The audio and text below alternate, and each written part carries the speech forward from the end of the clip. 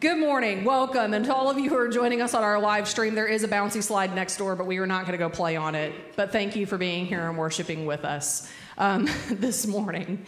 I'm going to go ahead and pray for us, and then our worship team will begin to lead us in our opening song. So let's pray. Loving and most precious God, we come into your presence this morning and we are thankful. We're thankful for this time to worship to praise you, to sing together, to be together as a community of faith. We are just so thankful for this precious hour on Sunday mornings where we can come and rest and be refreshed in your presence. Be with us in this time of worship. We pray that you would open up our hearts and our minds to the word that you have for us, that you would help us to, uh, that, that you would keep our voices strong this morning, that you would help to calm our hearts, center our minds on you and your grace and how you are moving in the world around us. Father, again, we are so thankful simply for who you are and who and, and who you have created us to be. It is in your son's name that we pray. Amen. Amen. Good morning, church. We're going to invite you guys to stand, if you will, um, if you feel comfortable. We're going to begin our time of worship and song. And I just encourage you this morning. I don't know about you, but it's been a long week. Carried in a lot of stress in the door, but I pray that you just lay it at his feet this morning. Let's not allow the distractions that life gives to take away from this time of worship together. So let's just take a second, take a deep breath if you need to, center your hearts, and let's lift our voices and join in together.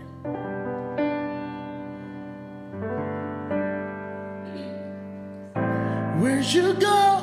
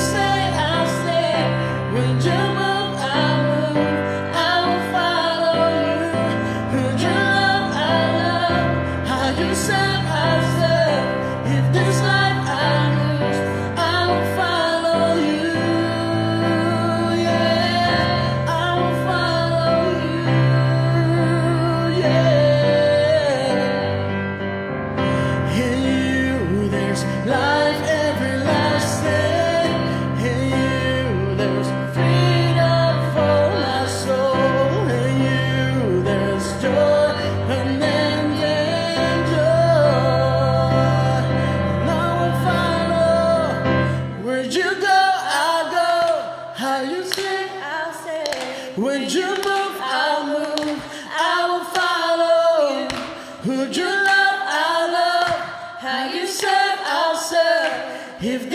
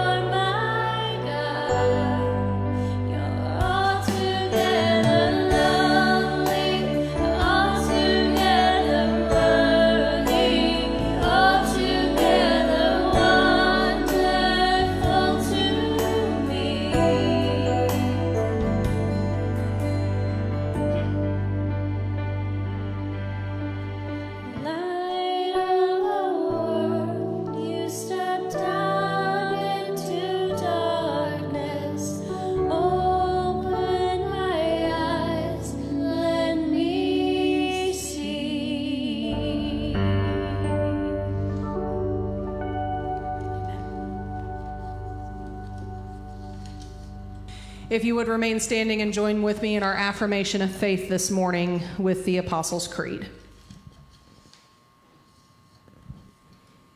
As soon as the slide comes up.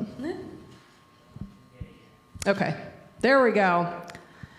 I believe in God the Father Almighty, maker of heaven and earth, and in Jesus Christ, his only Son, our Lord, who was conceived by the Holy Spirit, born of the Virgin Mary suffered under Pontius Pilate, was crucified, dead, and buried.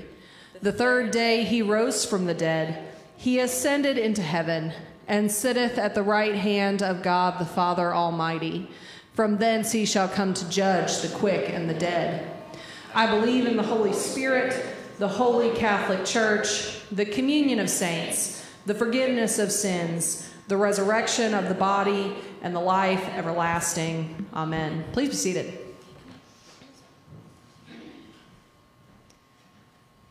I love you, Dylan. I hope you know that. You're doing a great job with the slides. Before we go into our time of prayer this morning, I do want to ask if anyone has any prayers or praises that they would like to lift up. When is your sister having surgery? I think it's the 19th. Ooh, so that's Tuesday. It might be the following week. Okay. I'm bad with dates. Sorry. Tammy's sister is having surgery sometime soon. and this is par- partial. Amputating below the knee. Oh, okay. Okay. Her, her right foot. I thought it was just foot. Okay. There, uh, there's a condition that follows neuropathy where the Okay. bones just like shatter for Ugh. no reason in the foot. So Okay. this was one option. It's the option that means that she doesn't continue with pain Gotcha. or reconstructive surgery for several times. Gotcha. And this is all diabetes related. Am I right? Partially? I think so. Okay. Okay. She has some immunity issues though too, so. Just to repeat for the live stream, uh, Tammy's sister is having surgery either this week or next week, um, but we, we're having to am- amputate below the knee um, on one side to address some chronic, ongoing, worsening issues. So we definitely want to pray for her. Any others, prayers or praises? Yeah. Um, I just wanted to pray for my work colleagues that are being overstaffed. Uh, they told us a couple weeks ago they would not fund our middle school portion of our school anymore. Ooh. Um, so thankfully I, I made the cut. Um, but there's, there's a lot of issues going on, uh, finding places to transfer. The district is not letting our folks who have jobs in other districts out of their contract, so JCPS. So, um, hopefully they, and they can't split because Yeah. there's a lot of state certification things that are going with that, so Okay. just praying for all of those displaced. And us that weren't displaced but feel really bad about it. Yeah, yeah, There's yeah. a lot of survivors still going on. No, that that's legit. Yeah. Any others? Yeah. I have some good news. Uh, as, I mean, I've only been at my job for a little over two months and I've already been promoted. So, James got a promotion. Yay! Um, I know she probably didn't say it for herself, so I'm gonna say it, but prayers for Kelsey. She's been, um, hey, I don't know why you like, it's fine. Love you. Her eyes just got real big. I know they did, and she would never say it, so I'm gonna say it for her, but she's had some really, a lot of trouble with her sinuses, and seems like they finally got some answers, but don't know if we have it fixed yet, so. bless her heart, she's had a sinus infection for but she's had some really a lot of her when there's sinuses and seems like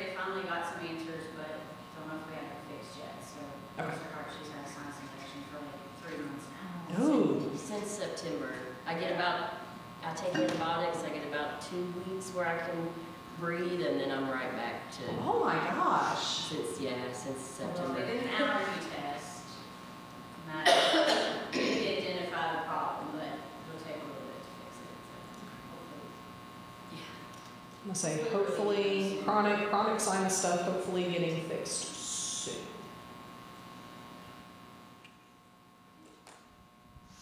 Any others? Yeah. Dylan got into IU Bloomington. Yes, he did. you got Matt pumped now. Dylan got into IU. Bloomington campus. Bloomington. Dylan is much less excited than you are, Matt. He's internally very excited. No, we're proud of you. Good job. So you start in the in the fall, right? Yeah. Nice. So now we're just hoping that we get scholarships because it is not a. No, it's not. Yeah, the great scholarship hunt begins.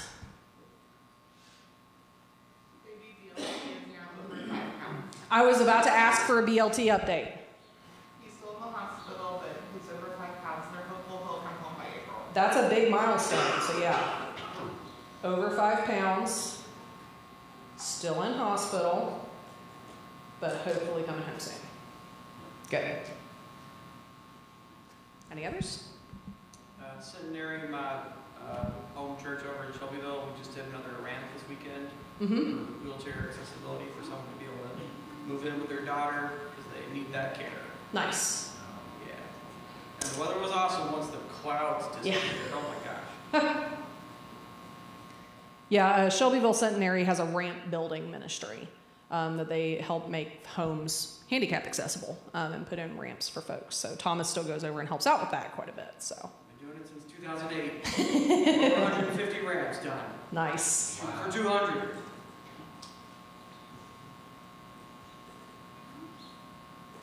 Any others?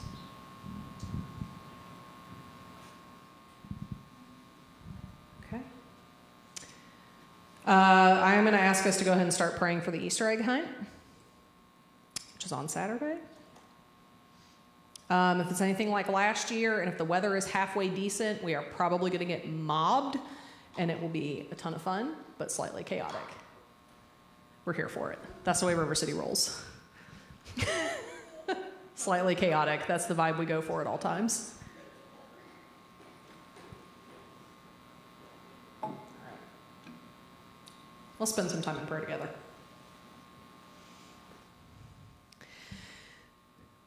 Loving and most gracious God, we come into your presence once again this morning, and as always, as always, Father, we begin with a word of thanks. We are thankful for today. We are thankful for the beautiful sunshine. We are thankful just for the gift that is today. We are thankful for springtime that is coming. We are thankful for flowers that are blooming. Even though they are messing with our sinuses, we're still thankful that they're pretty. We're, we're just thankful for the changing of the seasons. And again, for the, for the great beauty of your creation that is always around us. Help us to not take it for granted, um, just that, that we get to enjoy um, all, of, all of your creation. And Father, this morning we also are thankful for our those places where we are feeling such joy, where we um, have such pride in things that are happening in our lives, God. And we lift them up to you humbly and thank, with, with thanksgiving in our hearts. We are thankful for James and that he got this promotion at work. That is, that is a huge blessing for him and his family. And so we thank you for that. We thank you that he is doing so well at, uh, at his job, at his new job, um, that, that, that has already been recognized by them. We're thankful for Dylan that his acceptance to IU Bloomington, uh, top choice, that's always exciting. And um, we just pray now that as he begins the hunt for scholarships, that you would just continue to bless him and open some doors for him to be able to attend um, the school that he, that he really wants to go to. And we do also lift up uh, just the ministry of our, of our sister churches. We're thankful for this ramp building ministry at Centenary and the families that they help, and that, that Thomas is able to still go back and to assist with these ramp builds um, when he can. We're just, we're just thankful. We're thankful for the ministry um, that is done just uh, to show people that, that they are loved and that they are cared for. And so, again, we thank you just for Centenary and all of those folks in that group um, who have done this so faithfully for so long. And Lord, this morning we also bring before you our worries, our cares, our griefs, those places where we need direction, discernment, where we're feeling a little bit lost, or where we don't totally understand where we need to go from here. And so, God, we lift up all of those places where we are in need of your strength, your healing touch in our lives, and, and we lift up, we lift up Amy and uh, and just all of this displacement and cutbacks and everything that are happening at her school. And Lord, we are thankful that that that she is is still at her job. We're thankful that she is still in this place that she loves. Um, but we ask that you would be with those who have been let go, have, have been cut from that school, and who are needing to find other places um, for the coming school year. That's a lot of stress, that's a lot of grief. It leaves a lot of questions. And so we just pray that you would be with them and that you would guide them to places where their gifts are needed for our schools. We do lift up Kelsey um, just with this chronic sinus issue that she has going on. It sounds awful. Um, and we just, we are, we're thankful that, that we have some answers. But we pray now for the next steps that, that, are, that need to happen for this to be addressed and to be fixed, and so that she can breathe regularly. and uh, we, we just pray that you would continue to be with her as she seeks a solution to, to these issues. And we do lift up a praise for, for baby BLT. We're so thankful for this milestone that we've hit. We're over five pounds. God, we are thankful. We are thankful for the progress that he continues to make. And we just ask that you would again continue to be with them, be with that whole family. Um, April is still a couple of weeks away, and I know they are anxious to be home and to be able to settle in as a family in their home together. And we just pray that you would continue to be with them in what is hopefully these last few weeks of a hospital stay. We pray for continued progress. We pray that you would just, again, continue to surround them with your loving care. And we do lift up also uh, our, our Easter egg hunt. God, it is always a wonderful and fun and chaotic time. But we just pray that you would be with all of the families that are going to come. We pray that you would be with all of the volunteers who have already signed up to be here. Um, we just pray that this event would be a good and a fruitful one for our community to, to know where we are, to know who we are, and for us to be able to get to know them a little bit better. We are so thankful for all of these things. And again, we pray for all of those unspoken requests, those things that remain on our hearts. We lift them up to you as well. And we are so thankful for this opportunity, for this great privilege that it is to bring these things to you in prayer and to ask for your great grace to be with us. God, we are thankful for who you are. We are thankful for who you have made each of us to be in that grace. As we pray together the words of the prayer which you have taught us, saying, Our Father, who art in heaven, hallowed be thy name. Thy kingdom come, and thy will be done, on earth as it is in heaven. Give us this day our daily bread, and forgive us our trespasses, as we forgive those who trespass against us. And lead us not into temptation, but deliver us from evil. For thine is the kingdom and the power and the glory forever. Amen. Couple of announcements. Easter egg hunt this Saturday. Woo! 11 to 1. Um, we are still in need of volunteers to help, especially with like setup and teardown, um, which means getting here a little bit early or staying a little bit late. Um, but that that's always a huge need. Um, we are still in need of folks to help hide eggs. We're still in need of folks to stand around the boundaries of the egg hunt area and make sure no children run into other people's yards or the wilderness or the street. Um, we, we, always need people to kind of protect the egg hunt boundaries. Um, and then we also need help with some food prep. We're doing like hot, it's easy. We're doing hot dogs, drinks. The grill is working. one year the grill wasn't working and we had to make them on the griddles, the little electric griddles in the kitchen, and that was a good time. that was not a good time. It's fine. The grill is working. I checked. Um, but yeah, so we, we, we, we are, we're, we're to need a ton of help. Um, if the weather is halfway decent, I, I anticipate us having a, a pretty good crowd. Um, so if you are able to be here on Saturday, that would be greatly appreciated. And we're stuffing eggs after church. And I ordered pizza. Woohoo! Um, confirmation class. If you have a youth who is in 7th through 12th grade, has not gone through confirmation, and wants to do confirmation, um, which is essentially a that, that is the process that we take them through of talking about what we as United Methodists believe what does it mean to be a member of the church why should you know why should they do this what do they believe about their faith kind of all of those things that is co taught by myself and Adam um, this year. If you would like to do confirmation class, um, we are going to have a parent meeting next Sunday night during the youth group time. Um, so like 5:30 to 6 6:30, I think, is when the the, um, the parent meeting is going to be, and the confirmation class is going to start sometime after Easter. I think at that parent meeting is when they're going to kind of pick a day um, for classes to go, and it usually goes like five, six weeks. So. And then uh, the last two announcements are just a reminder of our Holy Week worship. Uh, Monday, they're both at the Browns Lane campus. We're doing both of these combined with Browns Lane. Maundy Thursday uh, is a prayer station experience. It starts at 7, um, again over at Gordon Hall. Maundy Thursday, March the 28th. And then Good Friday is March the 29th. And we will be in the sanctuary at Browns Lane, and it is a candles and music and lots of scripture reading, but it's a very serious, somber service for, for Good Friday. Um, so both of those are coming up for Holy Week, which is very soon. And stresses me out. It's fine. Are there any other announcements that I forgot? Those are the main ones I could think of. Let me get some coffee. Wednesday nights, are we Uh, Wednesday night, we have Wednesday Night Live this week. Um, and then we do not have Wednesday Night Live during Holy Week because the pastors begged for mercy that we please not have something Wednesday, Thursday, Friday, and then have to come back and do Easter on Sunday morning. we, we begged for mercy. Um, so we will not have it over Holy Week. And then the following Wednesday is JCPS spring break. And um, so we will not have Wednesday Night Live over spring break because a lot of our leaders travel um, that week, but we will start back the week after that and go partway through May.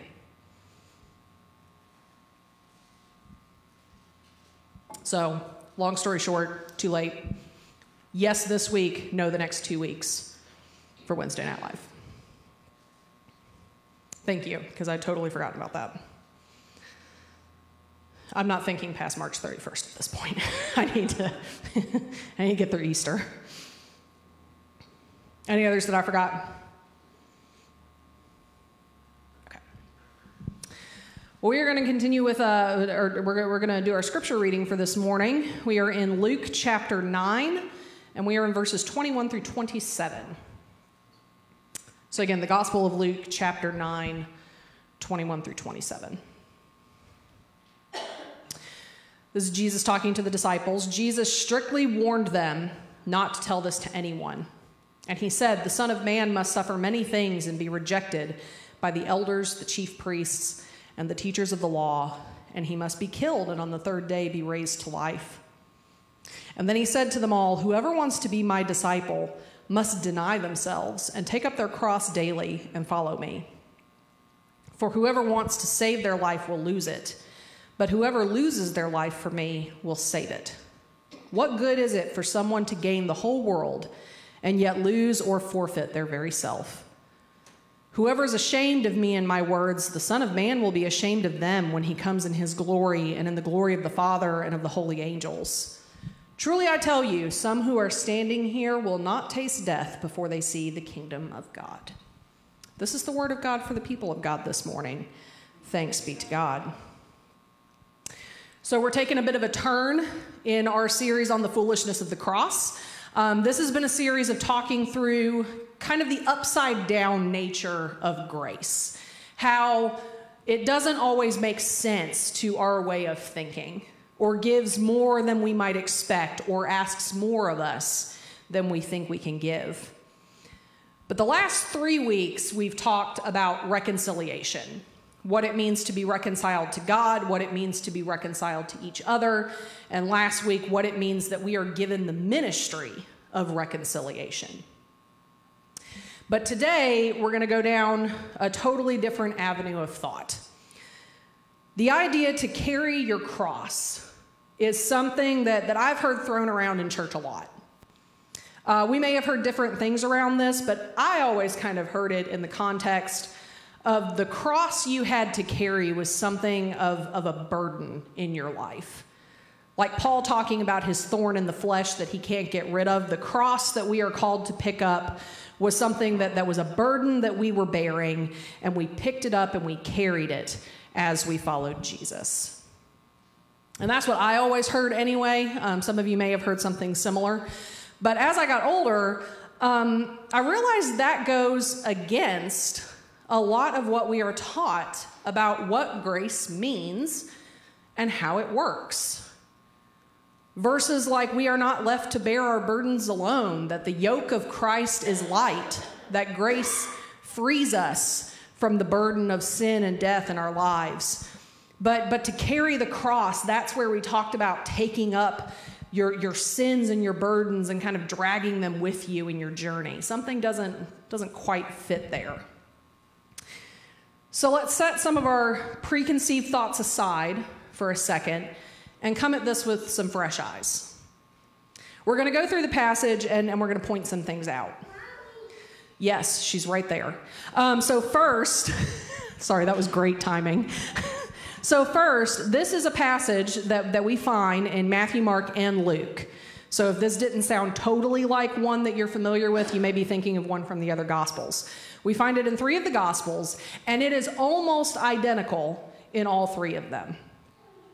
But Luke has two small differences that put a bit of a twist on it. First, it is the only one of the three to say that they must take up their cross daily and follow. We've talked before about how the decision to follow the way and the example of Jesus Christ is one that we make every single day. We invite the Holy Spirit of God to walk with us, to be with us, to help us discern what is good and right and for the benefit of others. Every day we make the choice to be the people of God in the world. Some days we might be more successful than others, and I get that. Believe me, I understand that some days people make it really hard, but it's still a choice that we make every day in every place. The second difference, this is something that we have to go to the Greek for. There is a, a subtle emphasis on the present tense of the verbs in this verse that is different from the other two passages. All three of the instances uh, from, from Luke 9, Mark 8, and Matthew 16 all say, You must take up your cross and follow me, but there is a sh- subtle shift in the Greek for Luke's version that we kind of lose in English. There is, there is a sense of urgency and insistence in Luke's version, um, which makes sense if we think about what we may know of Luke's gospel. In the opening verses of Luke 1, the gospel and the book of Acts are both addressed to Theophilus. It's one of the later gospel accounts, and there's some thought that it was still being revised until pretty late. It's a gospel that is aimed toward the post resurrection Christians who did not totally get the Jesus thing. They had not seen it happen with their own eyes. They were kind of hearing about it second, third, fourth hand. It's a gospel that is very focused on what it means to care for the poor and for those on the margins. And so Luke writes these verses with an added emphasis for his readers. One of the commentaries this week uh, proposed this as a decent paraphrase of the verse.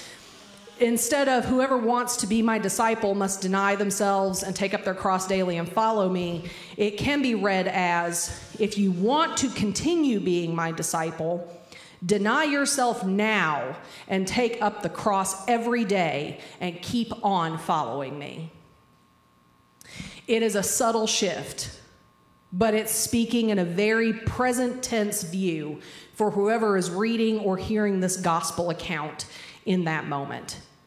In order to keep being my disciple, you must deny yourself right now, take up your cross, and keep following me.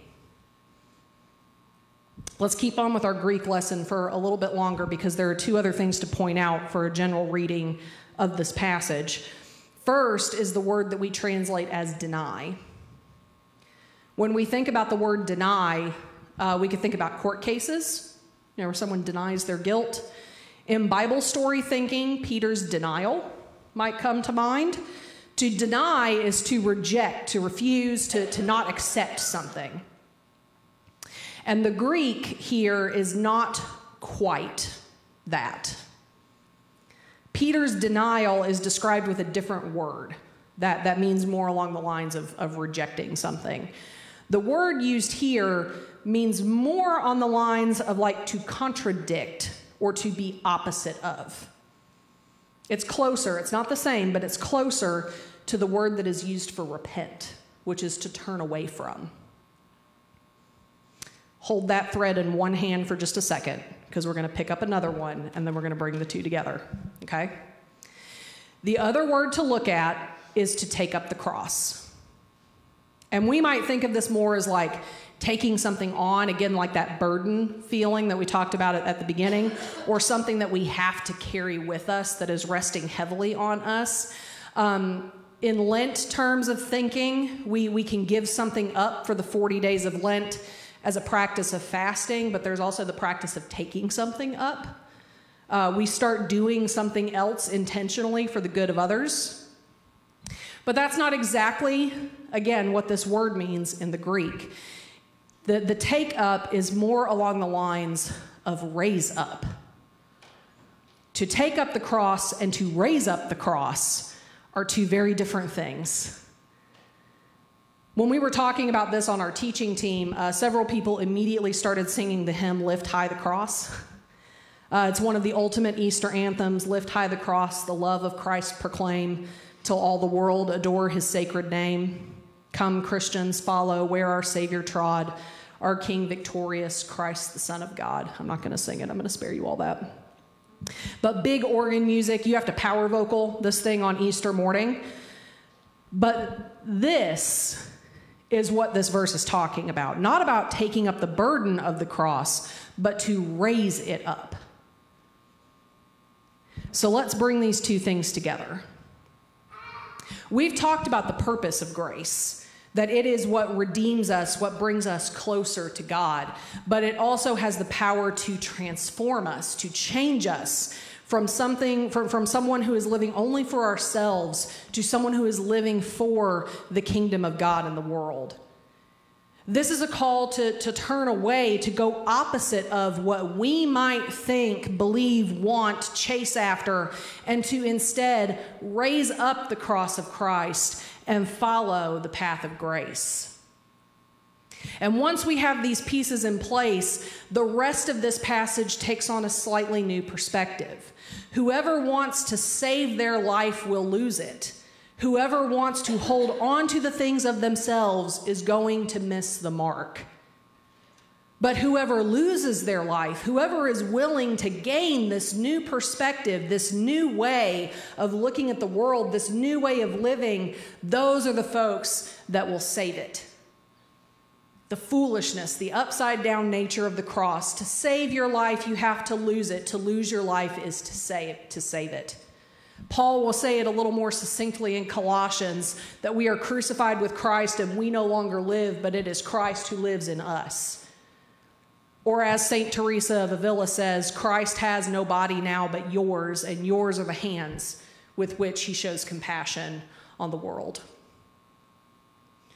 For what good is it to gain the world but lose yourself? This might not make a lot of sense because it seems like we're already talking about losing ourselves if we raise up the cross on the daily. But when we remember that we are created in the very image of God, it is really more of a restoration we are uniquely and wonderfully created to be in community together and for the ministry of reconciliation in the world around us, bringing others back to that restoration of relationship and identity. It doesn't do good to chase after the vain things around us and to lose our very selves in that process. I remember one time I went to a production of Macbeth, the Shakespeare play um, of a man devoted to his king, but he, comes, he becomes convinced that the king is weak and that he would be much better on the throne. And so he murders his friend. He becomes paranoid. He becomes a very paranoid and cruel king, far from the kind and giving friend that he had been at the beginning. And in that production that I went to, they actually read this verse before the lights came up for the play. What good is it to gain the world but to lose your very self? Now, the last verses of this passage are hard ones to hear. If you are ashamed of my words, I will be ashamed of you.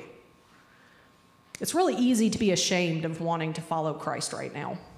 The, the, the Church Universal hasn't done themselves a whole lot of favors in this respect. We don't always get great press. I think it was Gandhi who said, I like your Christ, but I don't like your Christians, for they are very unlike your Christ. Shame is easy to feel right now. And last week, though, remember, we were reminded what it means to be ambassadors for Christ, that we are asked to simply speak our truth out into the world about who we know Jesus to be and how we are different in the world because of those, of, of those examples for us. Those places where we have been called away from who we were and where we stepped into the grace of God that has made us into a new creation. To deny ourselves and take up the cross is to live into the path of grace, to turn from the things that are driven by our greed, our rage, our grief, our pride, and to raise up the cross in their place. We know that Christ died for us while we were yet sinners and gave us a way to restoration in our lives and our spirits. And we are asked to raise up the cross, the very symbol of the grace and the love and the freedom that we find in the power and the Spirit of God, and to carry it with us daily. And so, as we come to the table of grace this morning,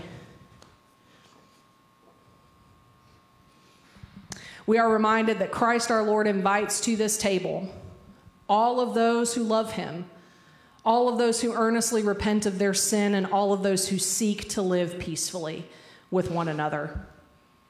And so we are reminded that on the night that Christ gave himself for us, he shared a meal with them, and at that meal, he took bread, blessed it, and broke it, gave it to them, and said, Take and eat.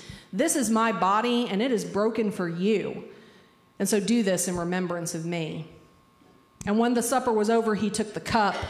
He blessed it, gave thanks to God, gave it to the disciples, and said, Drink from this, all of you. This is my blood of a new covenant, and it is poured out for you, and it is poured out for many for the forgiveness of sins.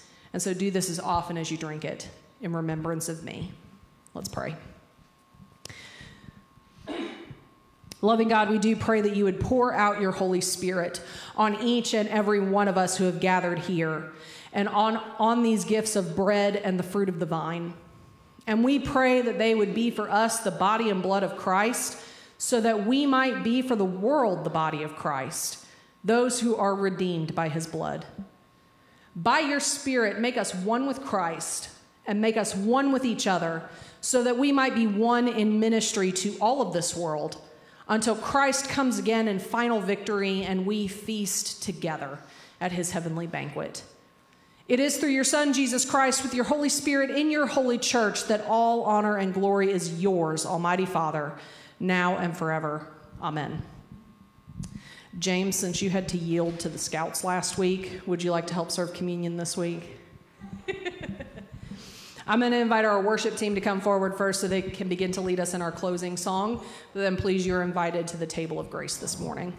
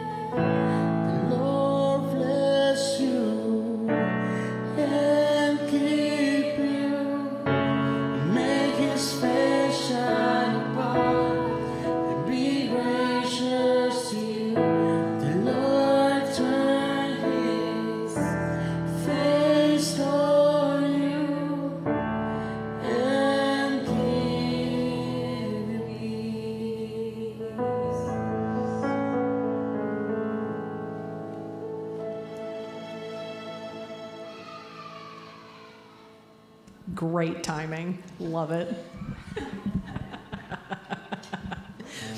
Just a reminder that we are stuffing eggs and we have a little bit of sorting to do before we jump into stuffing eggs. So if we could get some extra hands out here to move the rest of the eggs and the candy into the gathering area, and then we can start with sorting and putting all this candy in, and it'll be fun. But would you stand for our blessing and our benediction? It is our reminder every single week the love of God is with you. And the grace that has been poured out on us through his son Jesus Christ, it is sufficient and it is enough.